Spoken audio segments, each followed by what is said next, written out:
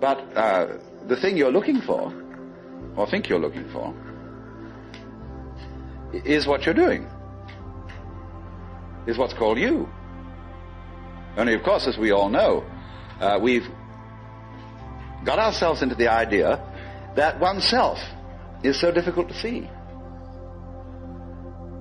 Because it's like, uh, as I've often said, trying to bite your own teeth or look into your own eyes, and you can't find it. It's always behind.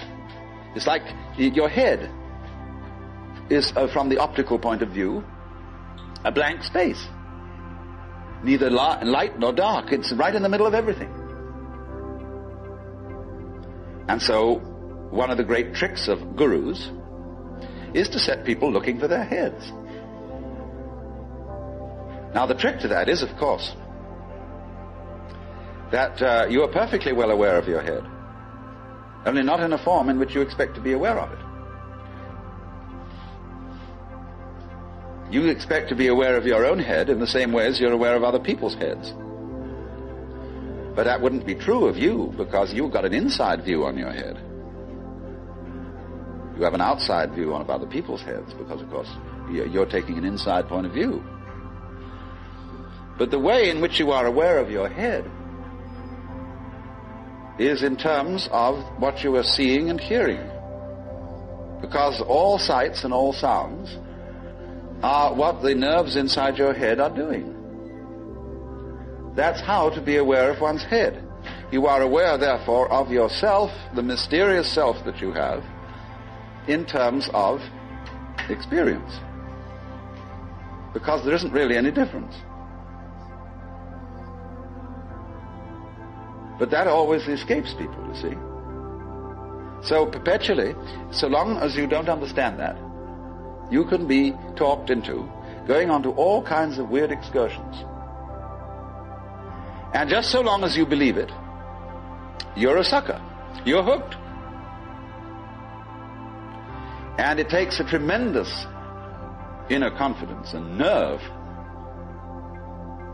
finally to say, hey, don't pull that stunt on me anymore. I, I, I see through your game. And uh, because gurus are very clever at putting you down, but they're just trying to see how strong you are, testing you out see if they can hoodwink you. So long as they can, you see, they're going to go on doing it because they're going to get you to the point where they can't do it to you anymore. Then they'll graduate.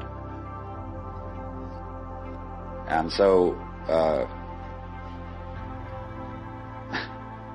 one of Rinzai's students, after he saw through it, said, Well, there wasn't much in Rinzai's Buddhism after all. Of course there wasn't. He said boldly and straight out, my teaching is just like using an empty fist to deceive a child. You play games with a child and pretend you've got something here, the child goes into all kinds of um, tizzy to get you to open your hand and show what it is, and then there's nothing. Fooled. So you, so you, you can be fooled. As long as you can be fooled. when you can't be fooled, you don't ask the question anymore because it's all become clear. It's all become clear that there is no puzzle about this universe. What makes you think there are puzzles about this universe? Very simple reason. You're trying to explain it.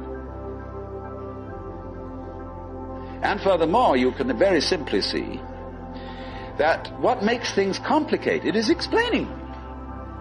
When somebody explains to you how a flower works, and he's a great botanist, and analyzes all the innards of a flower, and shows the channels, the fibers, the processes of reproduction, and uh, so on that go on in it, everybody stands fascinated.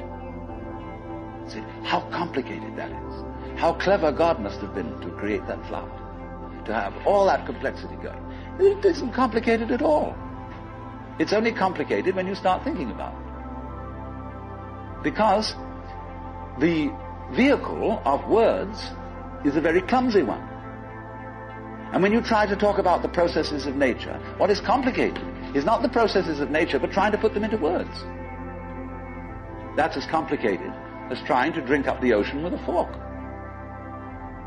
Takes forever.